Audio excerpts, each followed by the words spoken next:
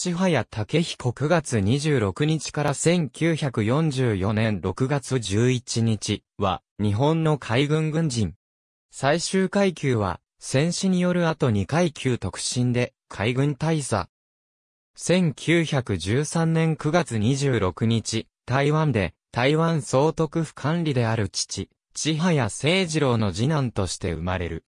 兄に千早正隆海軍中佐がいる。鹿児島に中を卒業。中学時代の竹彦は、体が弱く運動はあまり得意ではなかったが、兄に続いて、海兵を志願した。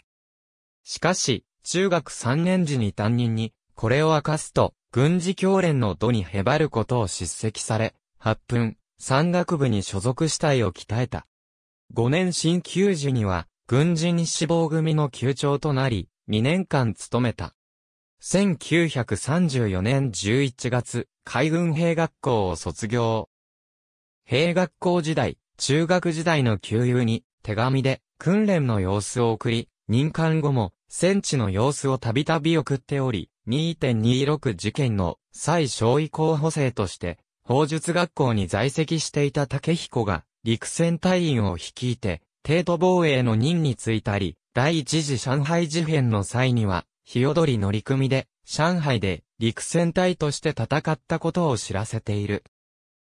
卒業後の遠洋航海から帰国後は、軽巡洋艦、基礎乗組、水雷艇、日踊り偽装員を務める1937年9月、飛行学生として、霞ヶ浦海軍航空隊に入隊。航空偵察員となる。海軍では操縦員以外の飛行機搭乗員は一括して、偵察員と呼び、複座機や大型機の比率が多かったため、偵察員は操縦員と同数ぐらい必要であった。飛行学生は、卒業時に、本人希望と適性を考慮し空中勤務士官として、操縦、偵察のどちらかに振り分けられたが、偵察士官に区分されても操縦も行った。航空母艦、総流乗組として、母艦搭乗員に着任。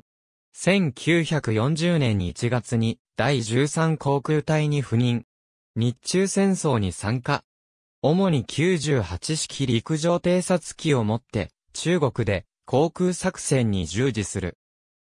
海軍は品事変で活躍した陸軍の97司貞を98式陸上偵察機を1939年11月に正式採用し、海軍、陸貞隊の技量を向上させるため、陸軍、司貞隊に助力を求め、翌1940年2月、司貞隊である、飛行第44戦隊第1中隊から中国、不任間もない千早ら第13航空隊偵察士官、下士官は、新鋭の97司貞字型を用いた、飛行場捜索要領、整備法等の伝習教育を受けた。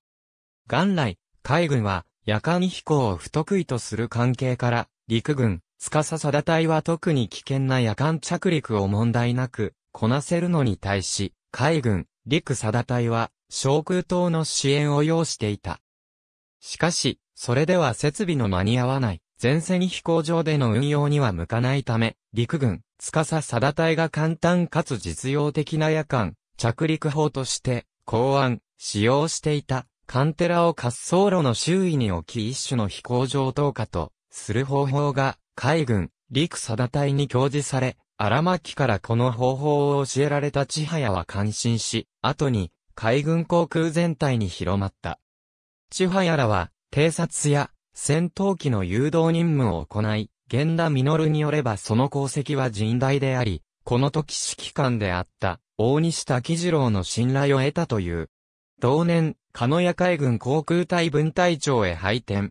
空母、赤城1941年4月、空母、赤城艦上爆撃機体の分隊長に着任。12月、太平洋戦争壁島の真珠湾攻撃に参加する。第二次攻撃隊に加わった千早機は戦艦に250キロ爆弾命中の戦果を報告。また、第一航空艦隊航空参謀であった現場に見込まれ、通常は艦上爆撃機ではなく、三人乗りで航続距離の長い艦上攻撃機が担う役割である、戦闘機体のキロ誘導にも当たった。インド洋方面のイギリス海軍艦隊総統、ミッドウェー海戦に参加後、1942年7月、横須賀海軍航空隊勤務。121空1943年10月1日、第121海軍航空隊が編成され、千早は偵察飛行隊長として着任。アメリカ海軍艦隊との決戦の主力を担う基地航空部隊として再建が始まった第一航空艦隊の部隊であり、要請のために大本営へ直轄され、千早らは訓練に従事した。1944年2月、アメリカ海軍は、マーシャル諸島攻略戦により占領したメジロ干渉を南太平洋における大規模補給基地として利用し始め、アメリカ機動部隊はハワイまで戻ることなく、補給や修理を行えるようになっていた。メジロ干渉内に、どのような艦艇が出入りしていたり停泊しているか、わかれば、アメリカ側の次の作戦の、おおよその内容と規模が推察できた。アゴー作戦が3週間後に控えていた、情勢下、海軍は、敵機動部隊の動静を探るべく、メジロ干渉への長距離強行偵察が計画された。当初、西艦上偵察機が使用される予定だったが、まだ正式採用前ながら4月より生産開始されたばかりの高速の最新鋭機である艦上偵察機、彩雲が配備されて、この任務に当てることとなった。しかし、トラック島から最短ルートで飛んでも1500海里の彼方にある、メジロ干渉への往復飛行は、彩雲の最大航続距離を超えていた。どこか、中継地点で燃料補給する必要があり、立ち寄り先として選ばれたのが、トラック島から1000海里、メジロ干渉から530海里に位置し、不完全ながら飛行場が設営されている、ナウル島であった。その頃のナウル島はまだ、日本側の支配下にあったとはいえ、周りの政界権、制空権は、敵の手に渡りつつあり、補給も途絶えがちであった。長距離を敵の制空権内か、それに近い空域を飛ばねばならないこの極めて困難な作戦の成功を期するため、千早隊員に任務が課せられた。千早は121空偵察飛行隊長であったが、他に適任者がおらず飛行隊長であるにもかかわらず、操縦を行い、偵察員と電子人の3名で彩雲に乗り込んだ。5月29日朝、テニアンを出発し、途中トラックを経由し、同日午後にナウルへ到着。ナウル守備隊員たちのために、彩雲の機内には、タバコなどの嗜好品を詰めるだけ積み込んでいた。翌30日朝、ナウルからメジロ干渉に向かった。干渉内にはアメリカ艦隊がおり、すぐに写真撮影を行いトラックへの帰途に着いたが、すぐにグラマン F6 回ヘルキャットが追撃してきた。彩雲はこれから1500海里先のトラック島まで飛ばなければならなかったので、燃料残量を考えれば、ただスロットル全開で飛行すれば良いという状況ではなかったが、千早は F6 回を振り切り、無事トラック島へ帰還した際は、燃料ギリギリであった。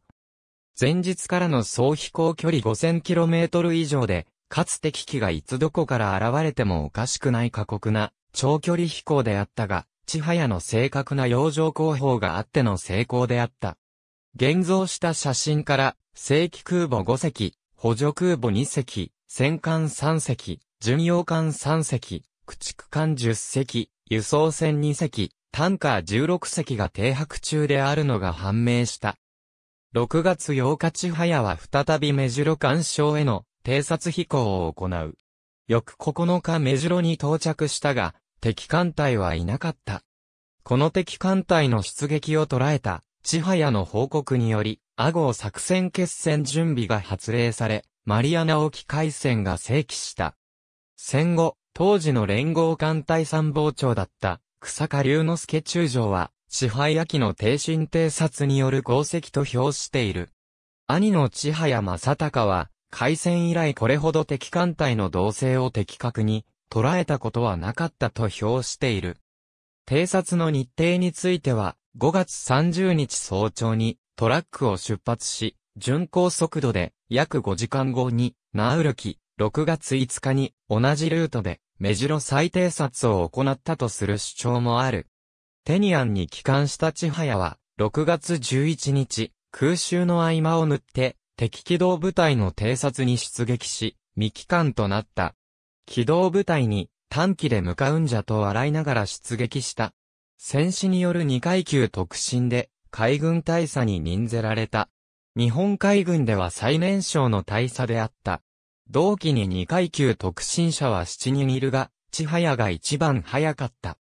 部任降下職課 C05033989600 官房機密第3141号11.11、30海軍現役部官を商船学校に、配属の件、4、C05034666900。ありがとうございます。